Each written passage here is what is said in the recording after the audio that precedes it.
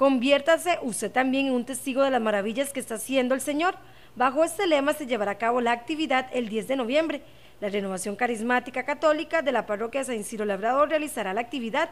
Comenzará a las 8 de la mañana con diversas actividades como el Ministerio de Música, animación, prédica, oración de intercesión y adoración al Santísimo, además de testimonios.